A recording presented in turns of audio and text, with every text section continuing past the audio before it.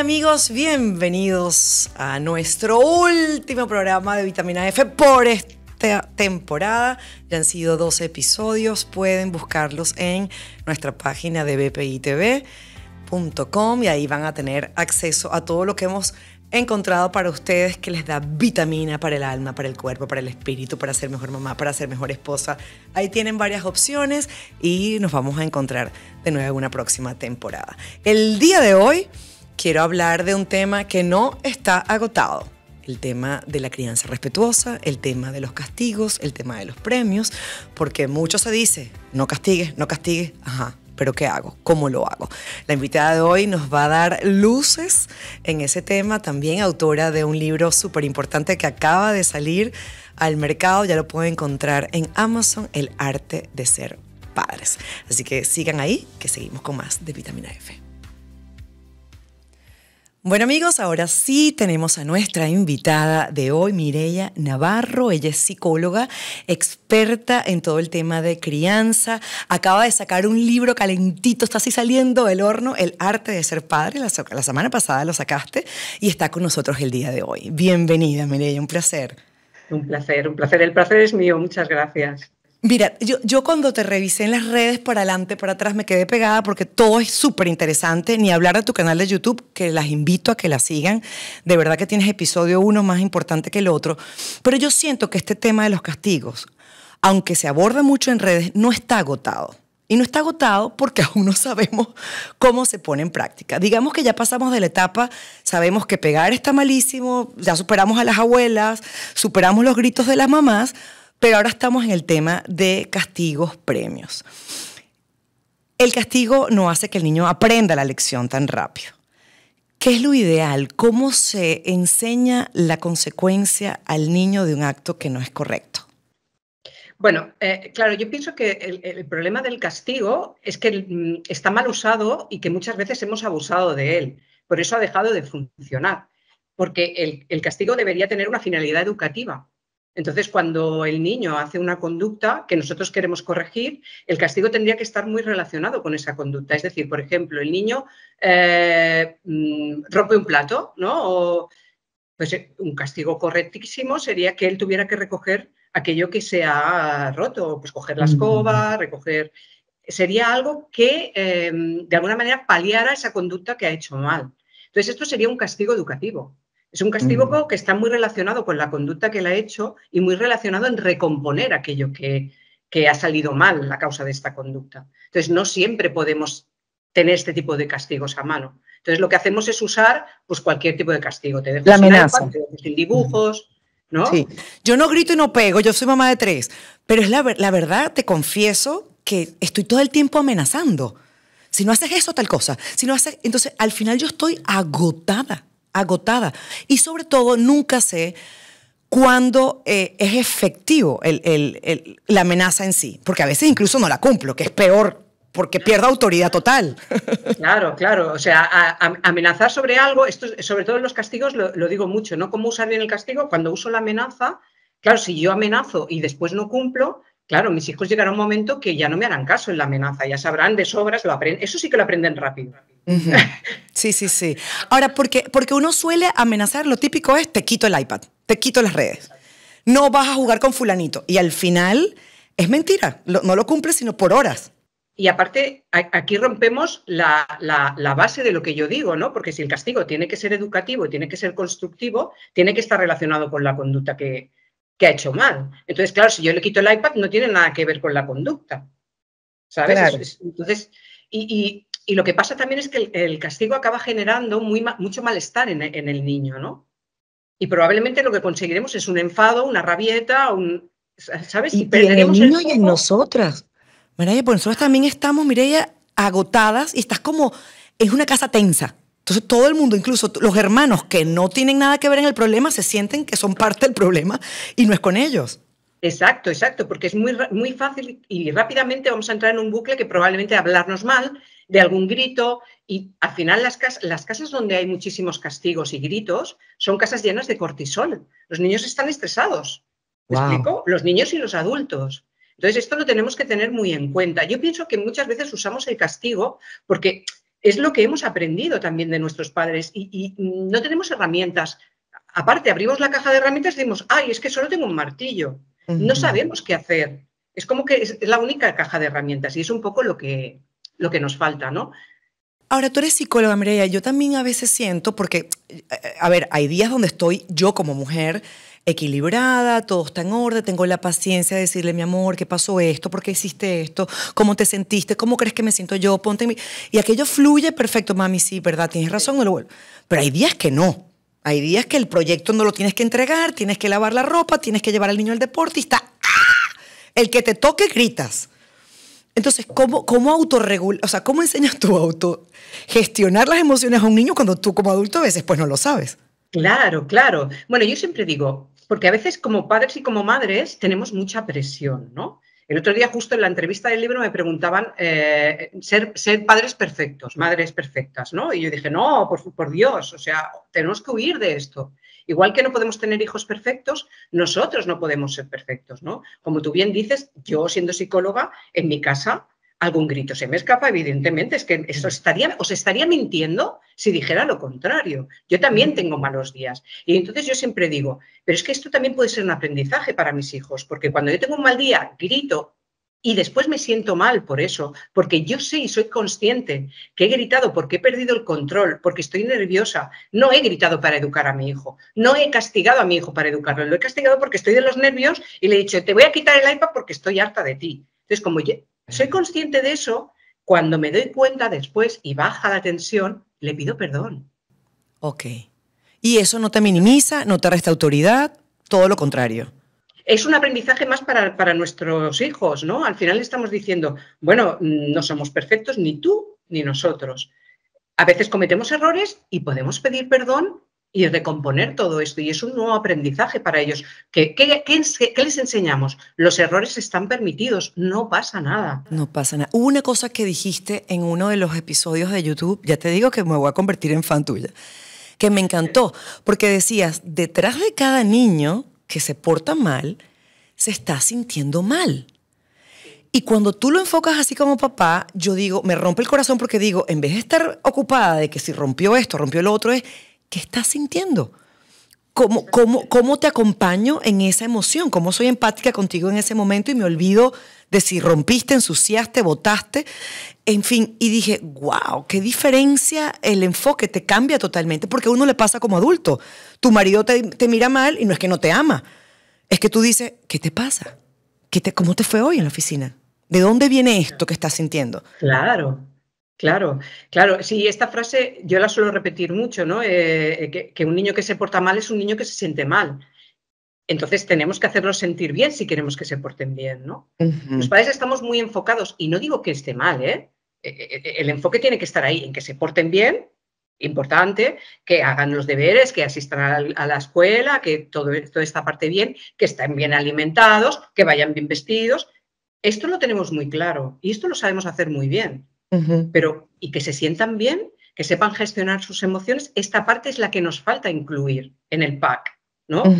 Eh, Ahora, hay, un choque, por eso es que yo te decía al principio, perdón que, que te interrumpa, que, que es un tema que no está agotado, porque yo decido como familia emprender un, camino sano de crianza, etc.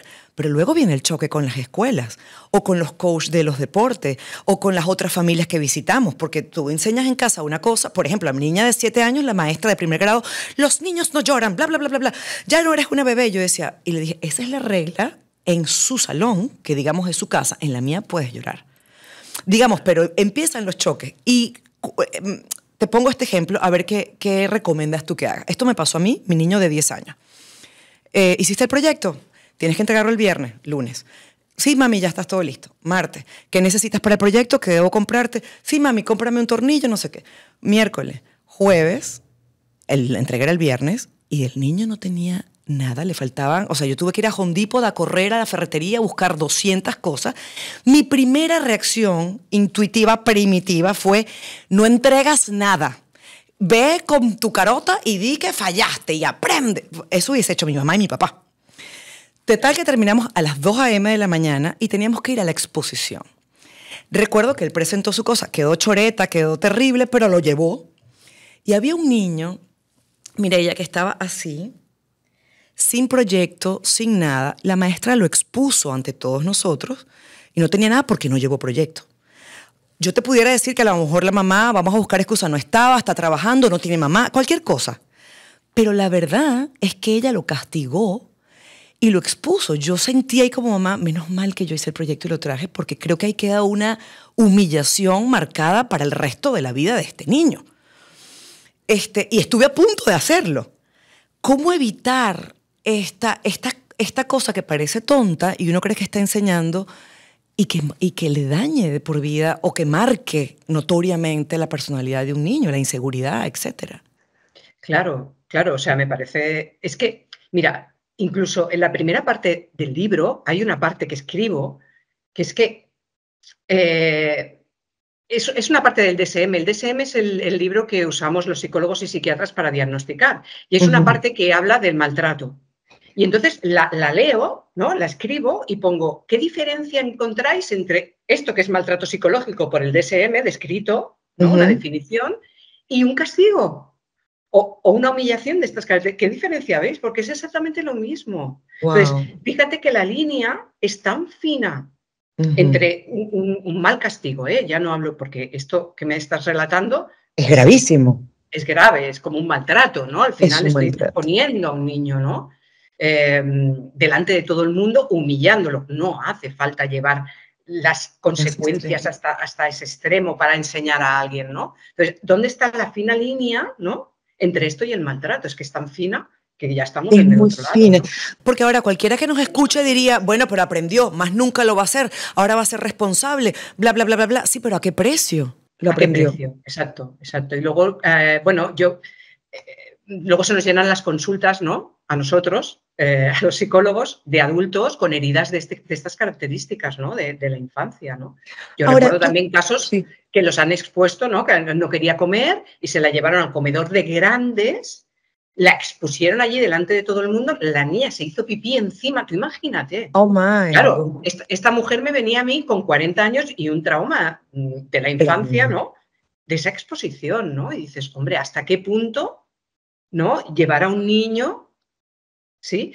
Y esto, claro, esto también a veces en casa, sin darnos cuenta, muchas veces se nos escapa también de las manos. Porque, por lo que tú dices, porque llevamos mucho estrés, porque estamos muy nerviosos, porque los niños requieren una paciencia enorme. Enorme. Y no todos los días tenemos esa paciencia.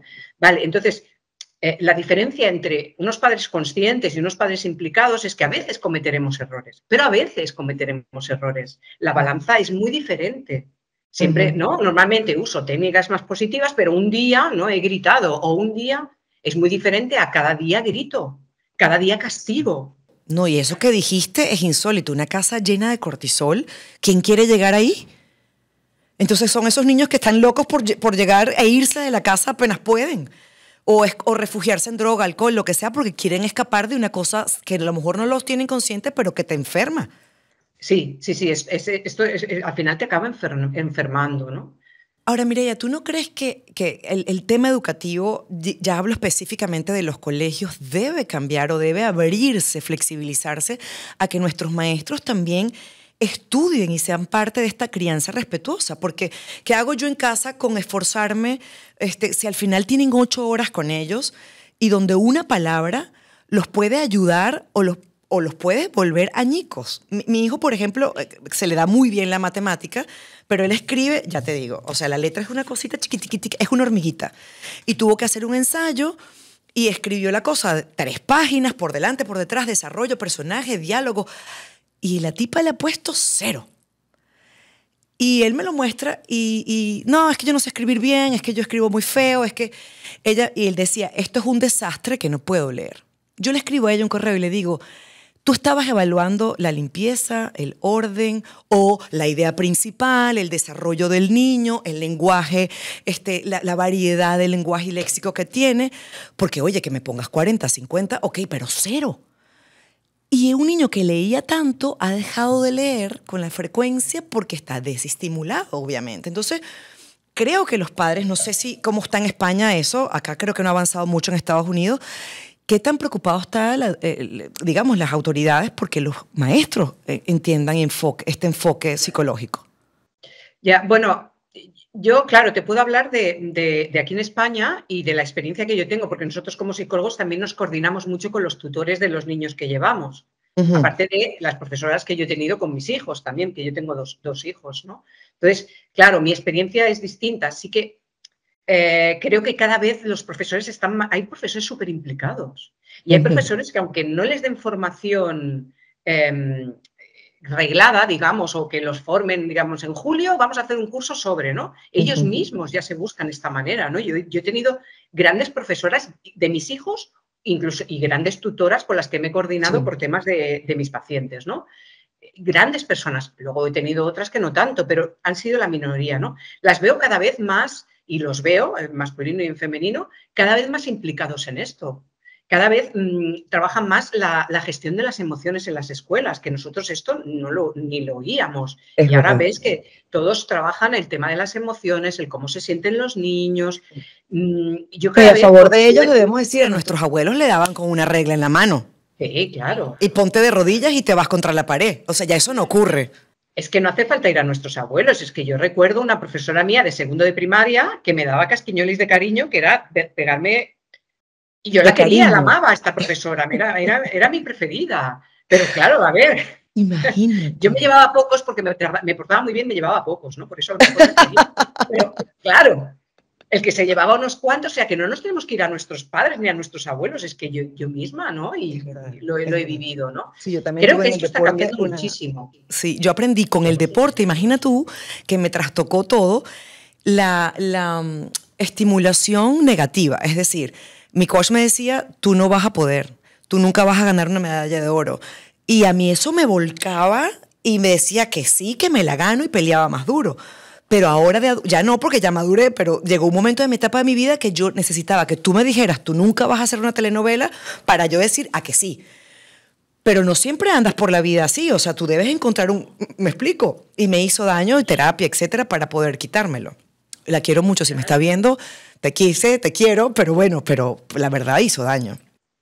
Sí, sí, sí. Y además depende del tipo de personalidad, porque habrá gente que justo eso le hunde. A ti te, te empoderaba, ¿no? A decir que no, ahora verás, ¿no? A demostrarlo, pero porque es tu tipo de personalidad, a lo mejor luchadora, pero a lo mejor otra persona lo que le hace es hundirle, ¿no? A ver, perfectos no podemos ser. Sí, sin duda. De verdad, no podemos ser ni cuanto profesores, eh, psicólogos, como padres, la perfección no existe. Pero sí la conciencia, la implicación, al menos la intención. ¿no? Si yo tengo intención de hacerlo bien, probablemente leeré libros, probablemente me formaré, probablemente. ¿Sí? Entonces habrá mucha más probabilidad de que lo haga bien. Y, es verdad que hoy no, no, hay un manual para ser mamá, pero hay bastantes libros y opciones al día de hoy como para al menos acercarte. Te quería decir algo y preguntar, ¿es verdad, digo yo, no sé, problema chiquito, niño chiquito, problema chiquito, niño grande, problema grande? Ahora, todo esto de los castigos cambia totalmente cuando ya empezamos a hablar de un adolescente, digamos que ya hay una, defensa de la personalidad, una identidad, en fin, ya, ya entienden, te agarran el juego, ya saben qué estás queriendo lograr, etc. ¿Cómo negociar con nuestros adolescentes una consecuencia a un acto? Porque, por ejemplo, yo académicamente hace rato dejé de pelear, ya no exijo un 100, este, estoy más abocada a acompañarlos donde son buenos. Digamos, si matemática es mala o malo, no le pongo un profesor de matemática, le pongo un profesor de arte o de, en lo que es bueno y repotencio lo bueno. Con lo otro, pues de verdad, con que pasemos está bien. Esa es mi teoría, a lo mejor lo estoy haciendo malísimo, no lo sé. Pero mi consecuencia es, no estudiaste, tu consecuencia es la nota que tienes. Ya. Se acabó. ¿Está bien eso? ¿Es suficiente? En la mayoría de casos sí, porque fíjate que eso cumpliría lo que decimos que al final es la consecuencia de su conducta. ¿Cuál es la consecuencia natural de, de su conducta? ¿Cuál es la consecuencia natural de no estudiar? Pues que suspendes.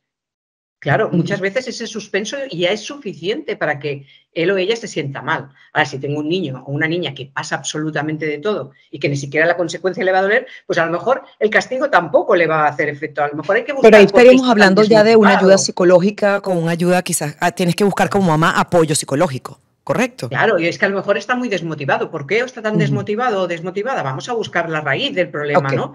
El castigo al final ataca eh, el síntoma hablando del castigo, fíjate, para mí el castigo, de hecho, hay una pregunta que yo os lanzo y es, ¿educar sin castigar es posible?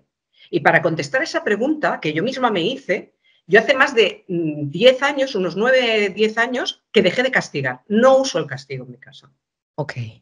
¿Vale? Entonces dije, muy bien, Mireia, si tú quieres saber, si tú quieres contestarte esa pregunta, ponlo en práctica y así podrás ayudar a los demás, ¿no? A, a gestionar esto, porque claro, yo digo, como son las pocas herramientas que tenemos, si dejo de usarla, ¿qué pasará? Mi miedo era, ¿dejarán de obedecerme? qué, resultado ha tenido el experimento? Mis hijos me obedecen siempre. Siempre, escúchame, siempre. Casi siempre. Que ya la mayoría de las veces. Y si no, y si no, pues negociamos, como tú bien decías, un adolescente no es un niño de dos años. Un niño de, mira, un niño de cero a dos o tres años, un castigo no le va a servir de nada. Sí, porque me entiendo. Porque es muy difícil entender toda esa dinámica, ¿no? Si él hace una conducta a las 5 de la tarde y yo lo castigo a las 5.35, él ya no va a entender que hay una correlación entre ese castigo y esa conducta. Ya me he pasado de la raya. O sea que con los críos pequeñitos no me va a servir. Y con los adolescentes, hombre, a ver. Sí. Me va a servir mucho más la negociación, me va a servir mucho más. Yo siempre digo, una casa muy con mucha opresión va a tener una rebelión. Sin duda alguna. Tarde o temprano le va a venir la rebelión. Mi mamá decía, Fabi era la niña perfecta, decía así a todos, sí, pero a los 19 me, me quité la camisa de fuerza. Tú sabes. Mira, no quiero cerrar sin preguntarte esto. Eh, lo más poquito, chiquito que podamos concentrarlo. ¿Y los premios? Los premios son positivos, son negativos. Hay amigas mías que me dicen, pero ¿por qué le vas a dar un premio si sacó 100? E, eso es su trabajo. Yo le dije, bueno, ¿y por qué yo estamos celebrando tu ascenso en el trabajo? ¿Por qué te invito a cenar si lograste algo tú y por qué mi hijo no? Claro. Mira, yo de los premios, eh, no soy partidaria de los premios materiales. Ok. ¿Vale? Los premios tienen un pequeño hándicap y es que eh, tú, cuando yo hago algo que, cuando a mí me ascienden o cuando yo hago algo que al final tiene una consecuencia positiva, yo ya me siento bien. Claro, ese es tu premio. ya tengo este, este gozo dentro. Si yo a esto le pongo un premio material externo, al niño deja de experimentar ese gozo que siente en ese momento para aferrarse. Mm, se engancha con la otra. Oh. Entonces hay que tener un poquito de cuidado con esto, sobre todo premios materiales y sobre todo cuando son pequeños, los niños, ¿sí? Porque el simplemente, fíjate que con un niño pequeño simplemente con que le digas, qué contenta estoy, madre mía, es maravilloso. Te voy a hacer una torta, qué sé yo, celebrar, pero no premio. Es como una, madre mía, qué bien, le, como que potencio ese propio bienestar que él ya está sintiendo en el corazón, ¿no? Claro. ¿Vale? Entonces, cuando conforme va creciendo un adolescente, por ejemplo, me parece un premio maravilloso ir a cenar juntos. Exacto. no, me gusta más los calidad, tiempo, calidad. De tiempo más que los premios materiales. No me gusta nada, nada, nada cuando dicen si porque entonces todo tiene un precio. Todo tiene un precio. Sí, y en una sociedad en la que estamos creciendo consumista sería terrible, tienes toda la razón. Claro, entonces hay que tener muchísimo cuidado, sobre todo con los premios materiales. Yo optaría más por los otros, simplemente celebración, reconocimiento. Qué orgullosa estoy de ti. Eso, es, eso tiene un poder. Increíble. y que, que se le graba para toda la vida que le compré, ¿no? La PlayStation, no sé qué. Sí, sí, sí, sí, sí. El último iPhone. del orgullo, ¿no? En mis ojos, ¿no? Eh, eh, cómo se lo expreso, ¿no? O cómo le digo que le quiero. O, cómo... o por ejemplo, hoy decide fulanito que vamos a cenar porque, porque se ganó tal cosa, digamos. ¿Qué quiere? ¿Sabes?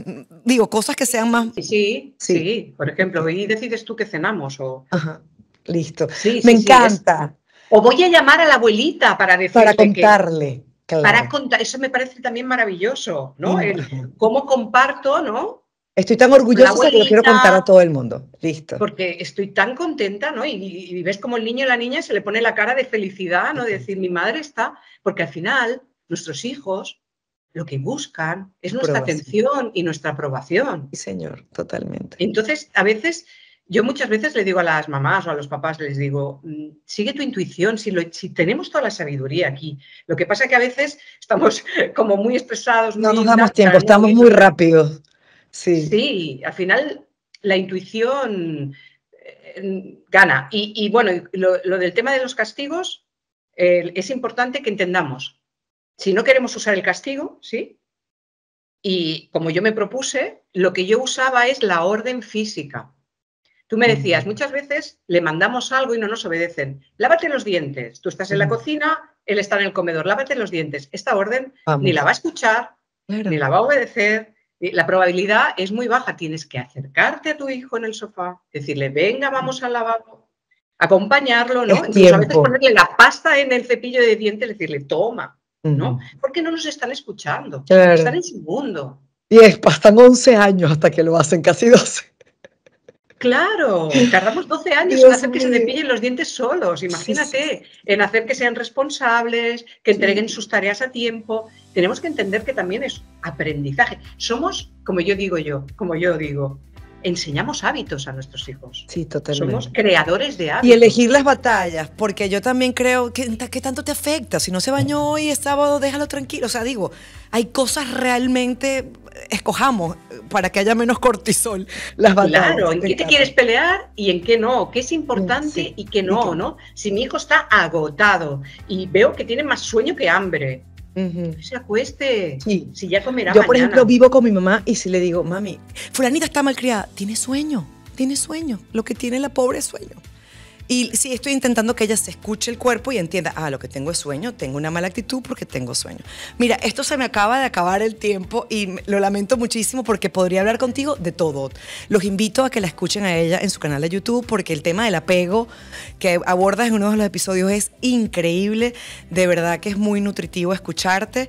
El arte de ser padre, ¿lo puedo conseguir en Amazon? Sí, sí, sí, está en Amazon. Sí. Listo. Listo, un placer, gracias por tu tiempo. El placer ha sido mío, de verdad. Un abrazo, gracias. Gracias, gracias. Gracias a ti. Y seguimos con más de Vitamina F. Llegan las noticias fabulosas el día de hoy. Cuatro íconos se unen. Miren esta maravilla. El Principito, Mafalda, Manolito y Snoopy para traer alegría a los ciudadanos. O sea, eso es demasiado con mucho. La Embajada de Francia y la Alcaldía de Barutas en Caracas se unieron para dar vida a una encantadora escultura en el Parque Vizcaya. En esta obra de arte, el Principito y su amigo el Zorro nos invitan a sumergirnos en un mundo lleno de enseñanzas y aventuras, una joya que sin duda iluminará con su presencia. El Principito viene a integrarse a la familia de esculturas de personajes animados que ya conviven en el municipio. En junio de 2023, el talentoso artista argentino Pablo Iragán dio vida a Mafalda, la niña contestataria de Quino, que no le gusta la sopa, como yo en una cautivadora escultura en la Plaza Los Chorritos. Acompañando a Mafalda, su amigo Manolito también se encuentra presente en esta colorida esquina. Pero la diversión no termina ahí. En diciembre del mismo año, la alcaldía de Baruta sorprendió a todos al inaugurar la escultura de Snoopy y Goods Cook. Ay, así se dice. Creados personajes entrañables por Charlie Schulz. Esta maravillosa iniciativa, un desastre una pronunciación, pero usted vaya a ver esa escultura que es una belleza, en colaboración con el Museo de California. Esto ha traído amigos a la plaza principal de la organización Cumbres de Curumo. Checo, quien estuviera ahí. Ah, pero bueno, se espera que estas esculturas sean un punto de encuentro para la inspiración y la reflexión de todos los visitantes, especialmente para los más jóvenes, invitándolos a sumergirse en la historia y literatura que estos íconos personajes representan para nosotros. Yo tengo el libro de Mafalda de colección, no se lo voy a prestar a nadie. Gustock. Gustock. Ya me corrigió mi Gustock, mi, mi bello director que es tan culto. Médico que canta revoluciona las redes. Mariano Masicochi. Dios mío, pero yo estoy hoy con mi español, inglés, francés, italiano, bellísima. Bueno, oigan esto, es médico clínico y cardiólogo desde hace poco más de 20 años. También es presidente de la Asociación Civil Me Regalas una Hora, pero tiene un recurso que usa aparte de su experiencia para curar a sus pacientes. Él le canta. Yo no sé por qué razón cantarle a ella, si debía aborrecerla. Bueno, con esta novedosa terapia me parece una belleza con la que complementa el ejercicio de su profesión y le brinda un bálsamo de bienestar a sus pacientes que ríen y hasta a veces se animan a esbozar algunas de las melodías con él. En una oportunidad, él dijo, me recibí en 2002, siempre digo lo mismo, a los médicos que nunca nos enseñaron a dar buenas ni malas noticias, no nos enseñaron a empatizar, no nos enseñaron medicina, solo medicina y punto, dice él. Y nosotros tratamos con personas. Y me parece maravilloso que se esté humanizando pues todo el tema médico me encanta porque le imprime una faceta mucho más humana al vínculo con sus pacientes. Y el galeno dice también que con el paso del tiempo te das cuenta de que necesitan mucho más de nosotros como médicos, algo más que una frase alentadora o una mano que contenga. Y siento que no nos cuesta nada darle cinco minutos más. Así que, por supuesto, este médico es una persona vitamina de esas que hay en el mundo y que yo siempre estoy buscando a ustedes para hacerlos visibles aquí en nuestro programa de Vitamina F. Ahora, oigan esto, se reduce en un 90% los tumores de vejiga gracias a los nanorobots. Sí, señor, esto es otra noticia fabulosa. Imagínate la emoción en el mundo de la investigación médica. En un estudio con ratones se ha logrado reducir el volumen de los tumores en un asombroso 90% por ciento, perdón, con una sola dosis. Sí, señor, una sola dosis. Esto representa un avance increíble, especialmente considerando que los pacientes con estos tumores suelen enfrentarse a entre 6 y 14 visitas al hospital para recibir un tratamiento. Aparte que debe ser pues bastante doloroso. La buena noticia no termina allí porque actualmente los científicos están investigando la recurrencia de estos tumores después del tratamiento, lo que podría significar un paso crucial hacia una mayor eficacia en el manejo de esta enfermedad devastadora. Este avance no solo ofrece esperanza a aquellos que luchan contra estos tumores, sino que también nos acerca un poco más a los tratamientos más efectivos y sobre todo menos invasivos. Un futuro prometedor que se vislumbra en el horizonte de la medicina moderna.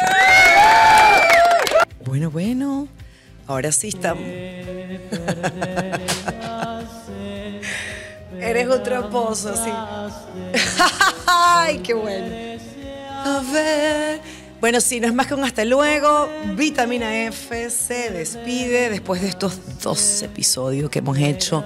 Aquí mi director Luis, nuestra querida Jex, productora de piso, Susana, nuestra productora, y Luis, David, también nuestro querido editor, con todos ustedes. Nos hacemos una mega pausa. ¿Por qué? Porque yo voy a seguir buscando otros 12 temas potentes que sean buenos para que nos llenen de vitamina. El alma, la mente, el cuerpo y el espíritu. Muchísimas gracias por acompañarme en esta primera temporada de Vitamina F. Pronto, pronto regresaremos con mucho más y con noticias fabulosas porque el mundo tiene más que malas noticias. Y ese es mi empeño, que usted sepa que la vida es mucho más divertida de lo que parece se les quiere. Gracias por acompañarme. Soy Fabiola Colmenares y sigan siempre en sintonía del canal que mantiene informado a los venezolanos dentro de Venezuela y el mundo, BPITV. tú vas a seguir, ¿no? El que está despechado eres tú, que no me vas a ver como por un mes. Eso es todo, dilo, dilo, dilo. Qué cómico. Los quiero. Besos.